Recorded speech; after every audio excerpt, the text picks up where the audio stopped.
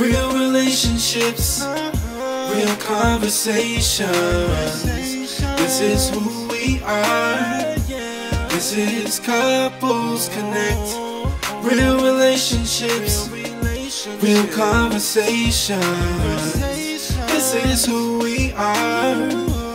This is Couples Connect. What's going on, everybody? Welcome to Couples Connect. My name is Akita. And I'm Letitia. And today's topic, we're talking about comparing yourself with other couples versus getting inspiration from other couples. So let's Right. hop right in. Right. Um, I thought you was about to break that down. Inspiration. Inspiration.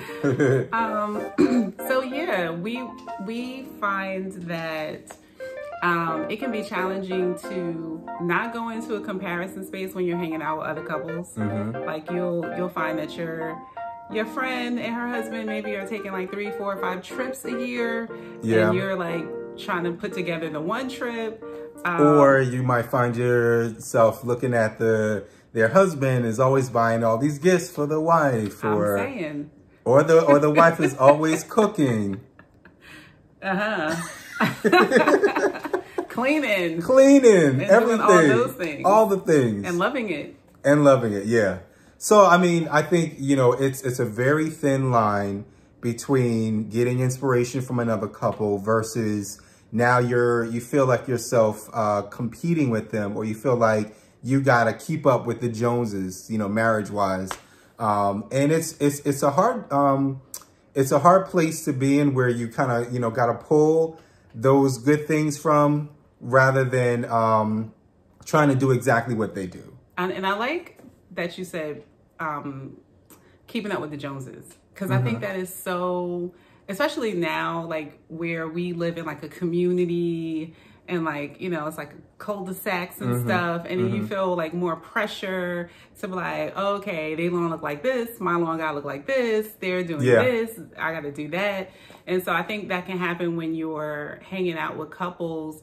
Um, but it's like you said, I think every marriage is different. Yeah. And I, you have to remember that, like what, like literally, your bank accounts are different, your personalities Yes. are different, your gifts are different, probably the amount of kids you have are different. There's a lot of mm-hmm. different Dy- things. dynamics that are involved. Yeah, Right, right. definitely. And you know, it's always good, you know, to to find that couple that you admire and you see what works for them, and you know how healthy or sometimes how not healthy they are.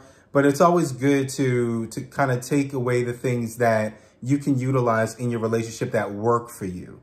Not Right, everything that you take from them is going to be able to work for you because, like you said, your situations are just different, and that's okay. And we sometimes get caught up into, oh, I got to do what this person's doing. Oh, their Instagram feed looks lit. You know what I'm saying? Like it's popping. And you got to do exactly what they do. But what you do is you find yourself in a place of like resentment. You mm. know what I mean? Because you're not able to get to that level or you don't know what it took for them to get to that level. have you ever found yourself in a place of resentment from like comparison? Um, I, well, with the cooking thing, I, I definitely can relate Do to. tell. Um, This is my first time hearing about this. because I, you know, I, I like to, to eat. I'm a, I'm a foodie and, um, I, you know, like it when, um, you cook, when you do cook, but she doesn't really like to cook as, she doesn't really like to cook. How about we just put it that way? But I do cook. but you, you cook occasionally.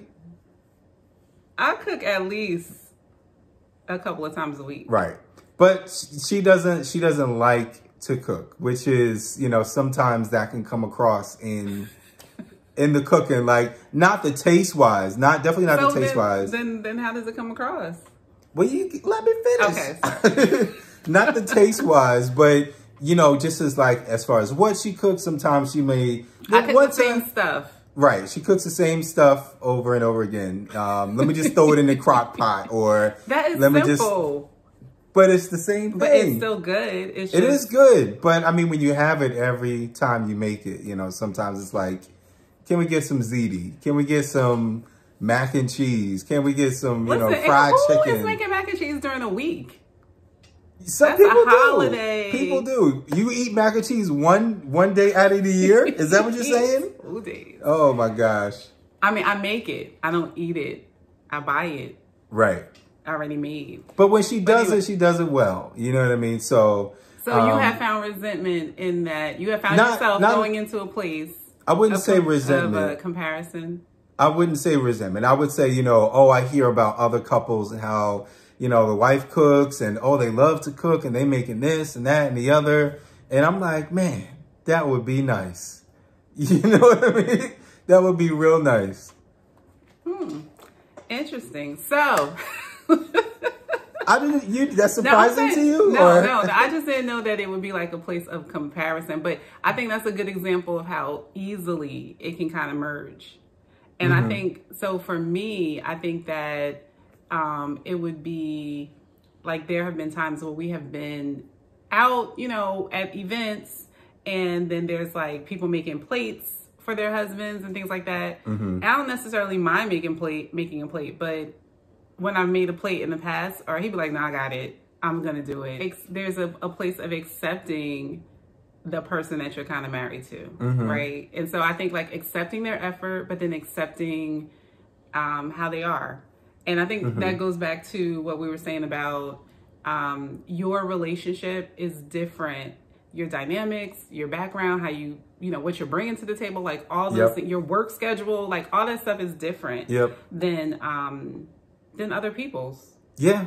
Yeah, no, I, I think th- there's got to be a common ground. There's got to be a medium that you kind of work towards. You may not get the full, uh, you know, brunt of what you're looking for. Mac and cheese. mac and cheese and fried chicken, but you you may get something. You may get uh, a crock pot meal. You may get you know a baked chicken meal or something like that. Um, and to appreciate that, you know, appreciation goes a long way. You Right, know what I mean? right. But you know, like you said, uh, accepting the fact that some things may just not be a fit for your marriage, you know, and it may not work for your marriage, and being okay with that. Mm-hmm. You know, finding other things that you can get involved in or, or do That's y'all thing. that sets you, know? apart from other couples. Right, Like, you know, we um we we do a lot of different things. Like we have binge nights. You know, we find a new movie on Netflix or, you know, whatever the other streaming channels and we um we watch those together. You know, sometimes I might fall asleep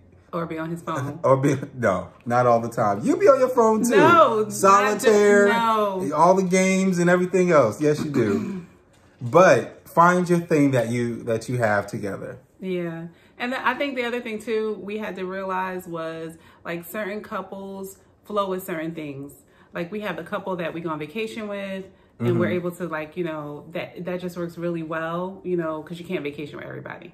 No. Um, and then we have the couples that like we collaborate with, like when we're trying to do a project or try to hold an event or a conference or something. we know like those business minded couples that want to, you know, they they operate in that space, right? And then we have like couples that you know maybe we're growing together within faith, and Yeah. so like I think that there are different um, couple groups. And I think in the beginning I had a challenge with like trying to put like make everybody that whole thing, like just because like you're Mm-hmm. you this- want them to fit the whole package Right. of what you're looking for in a in a couple to hang out with. Right. You know what I mean? right. Instead of just having certain couples that fit certain needs, just like friends. You know, some friends you can joke with, some friends you can be serious with, some friends you can hang out with, some friends you just talk to every six months or so. Right. You know what I mean? so it's the same way with your couple relationships that you hang out with and and being okay with that too, you know and using, especially if you're like meeting a couple for the first time, you're using those few times that you hang out to see how they can fit. You know, how much information do I share with them? How much, you know, how many jokes can I share with them and the, until they like get tired of me? You know what I mean? Um, but I had a question. What do you do when you're hanging out with a couple and let's say I mesh well with the husband or we get along, but you may not get along with the wife? Cause that, that does happen. so you and the husband go hang out.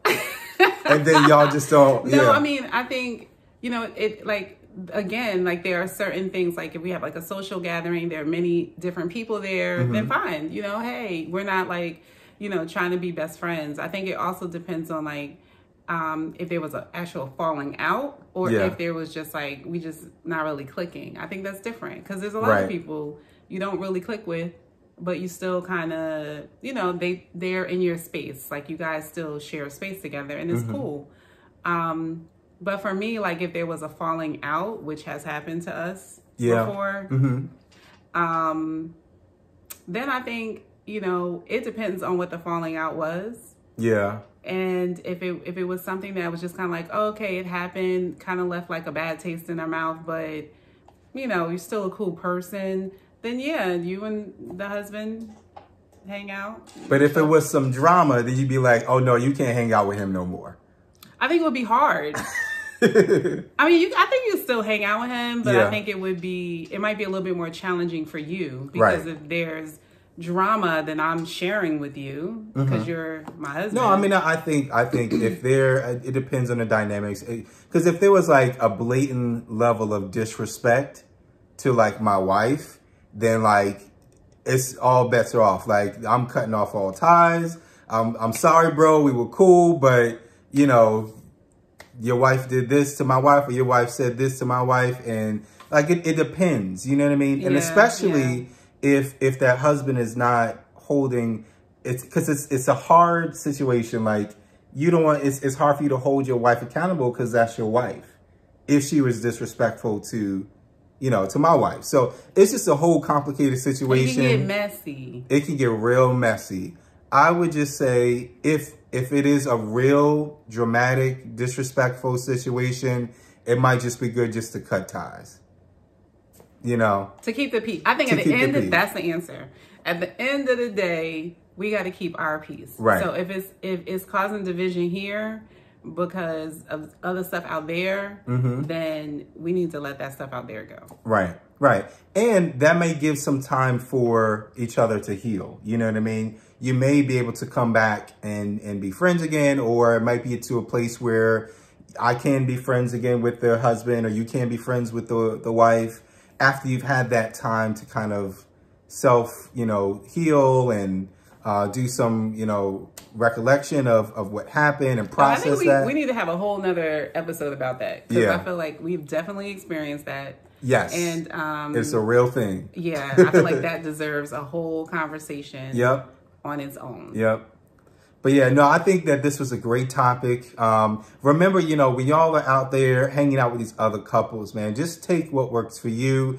If you see a couple that, you know, has some some great qualities about them, talk about it. You know, have a conversation with your spouse, see what works for you, what each other is willing to commit to, and what you're willing to negotiate on.